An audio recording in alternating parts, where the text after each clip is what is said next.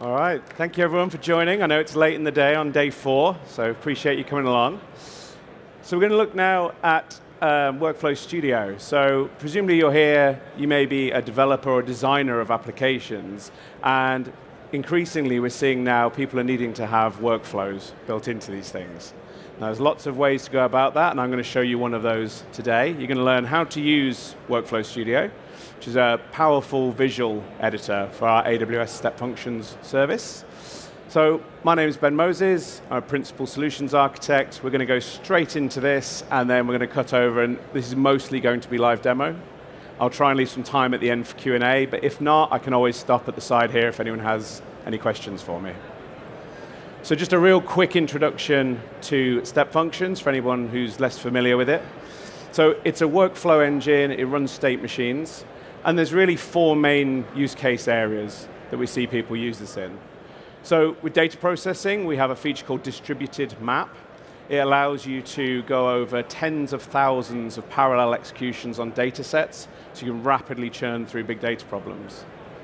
We see lots of customers use it for IT and security automation. So this could be things like automated incident response or to do with scaling infrastructure with a little bit more control. Machine learning is an increasingly popular use case. So imagine you have a, a, data set, you might want to do some splitting of that. You may want to then do some training and automated testing, and you can orchestrate all of those pieces within step functions. And another final really popular use case here is microservices orchestration. So where perhaps you're using things like event-driven architecture and you're passing these messages about changes around, and when it reaches a microservice, you may want to then orchestrate something to do with that payload. So let's use a really simple example here. So you can think of this as a workflow. So here we've got an image that's being used as an input, and we need to do some processing here. So what we're going to do is we're going to make a thumbnail of the image, so do some processing. But we're also going to use one of our services to uh, identify features and store that metadata about the image so that it can be used later, perhaps in conjunction with that thumbnail. Now, it's very easy to reason what's happening here. Most of us are quite visual learners. We can see what's happening. You can, of course, create your state machines as code. And Step Functions supports this. You don't need to read the actual code itself here. The intent is to just show you that we have something, it's called Amazon States Language, and it's a definition type built on top of JSON. It allows you to programmatically create your workflows. However, if you're trying to sit down with a business persona, maybe it's a product manager or somebody from the business side, it's quite hard to get them to understand and reason what this code is doing for you. And that's where Workflow Studio comes in.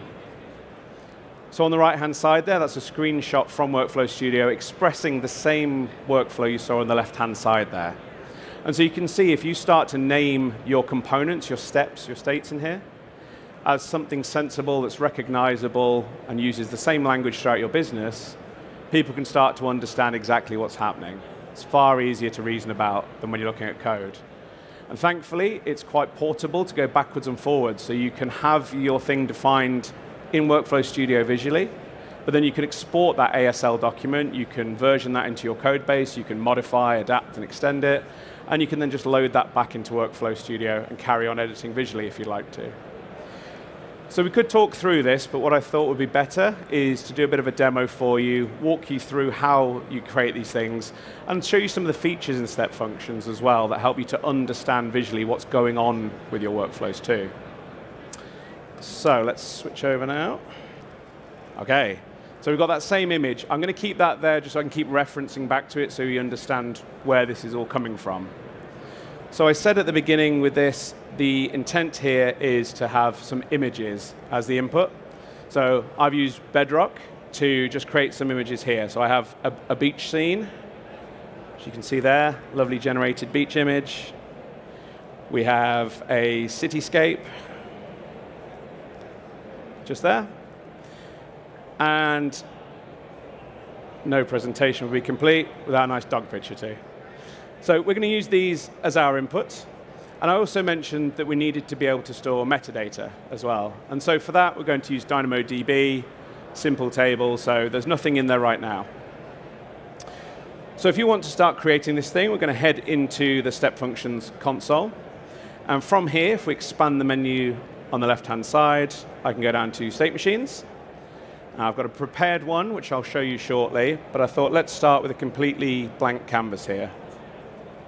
Now when you go to create these, there's a load of use cases, some of which I talked about earlier, and you can pick these for like quick starts. They'll put some building blocks in for you, that you can then customize, add to, change as you like. We're going to start with a blank one. And here we are in the studio. So the best way to understand this, is on the left-hand side, we have a palette, which can, includes all of our states. So these can be actions, and this is where we can talk to AWS services. So all 220 plus AWS services are available in there, and you can actually go across 10,000 API actions within Step Functions. Obviously, we, talked about the need to maybe take branching logic, and that's where these flow components come in. So we have the ability to take a choice, depending on the output of a previous state, and start to introduce branching logic to go one way or another. We can have parallel, so if there's no reason to be linear in our workflow, we can branch out and we can do things in parallel together. We have map states where you can iterate through a set, and that can be something you load from something like an S3 bucket, or from a JSON object that you pass in yourself. And there's a few others in here as well, and you'll see some of those as we start to build this up. And the very last one here is patterns. So these are repeated use cases that we see customers use. They're designed to be an easy way to just drop this thing on. It may put in one or two components and put some configuration into them as a sensible default, and then you can go from there. In the center, we've got this infinite scrolling canvas that we can move around, we can zoom in and out. And as you start to add your components, it'll keep auto laying out everything for you. And on the right-hand side, we've got the properties dialog. So right now, we're in the properties of the workflow itself. But as we start to drop pieces in, we can start to customize them and give them actions here. Really important thing to call out at the start is a week or two ago, the Step Functions team released a new processing method inside this called JSONata, which supersedes the previous JSON path. I'm intentionally going to do this demo using JSON path because an awful lot of the examples that are still out there will still be in JSON path today. But as you start to get familiar with this tool, I'd encourage you, try JSONata out. There's plenty of really good documentation on it, and it will start to see all the samples get updated to that too. So I'm going to pick JSON path for this, and then we can get going. So that very first step that we had to perform was extract image metadata.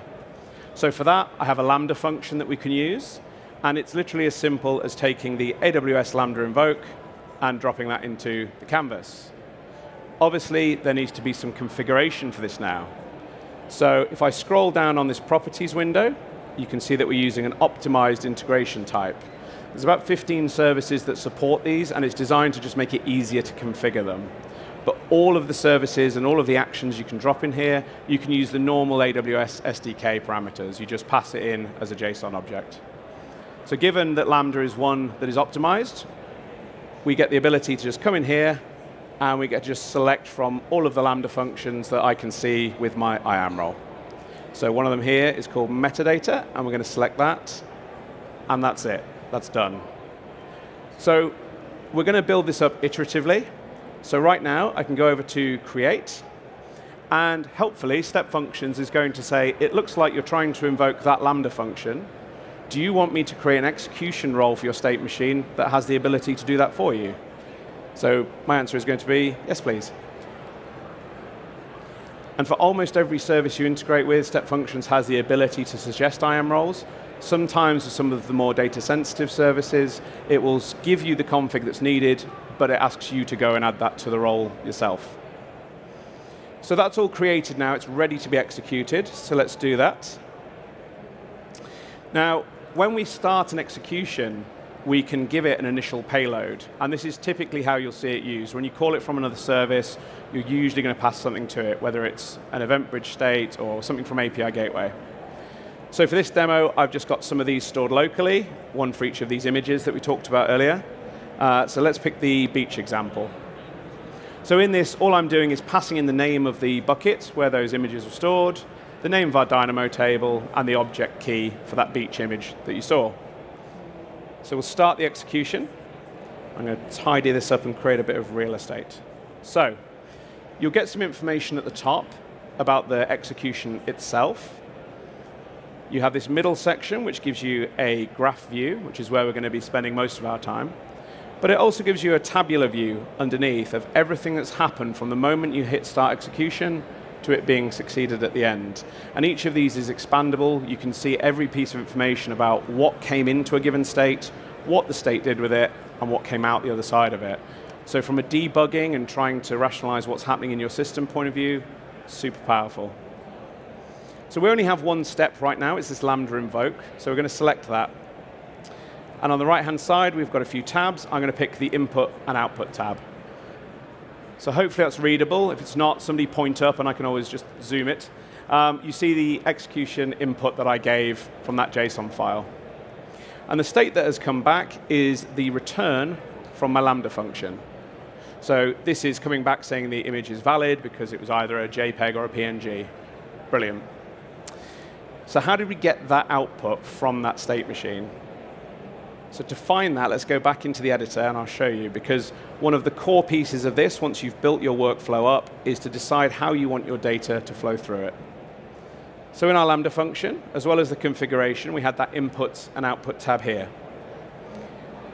So we can manipulate what's happening inside the execution as we go. And helpfully, again, because this is an optimized one, it gives you an example of what a typical Lambda output might look like. So you can see all the full things in here, the executed version, the payload, which is what comes back from the Lambda function. But you also get all of the metadata in there. And typically, for your workflows, you aren't going to need that. So if we scroll down, you can see some of these things. And by default, when you use that invoke Lambda action block, it puts this filter on for you, something called an output path. And that's saying from the root of the object that comes back, I actually only care about the payload what came back from Lambda, basically. And that's how we saw that in the next piece. Step functions recently introduced something called variables, which now means that when you get things back, you can go and store them as like a global variable in your execution, and you can reference them later. So before that existed, what was a common pattern is you would chain the input and the output through. So if you needed those variables that I passed in at the beginning, the table name, the image key, etc., you would have to keep them and retain them. And the way that we do that is with a result path. So what this allows you to do is say, I want to keep the root object that you passed in right at the very beginning, and anything you get back, you want to append it as a sub-object. So let's do that now. So if I give that a path of dollar dot, and then let's call it uh, doo -doo -doo, image metadata.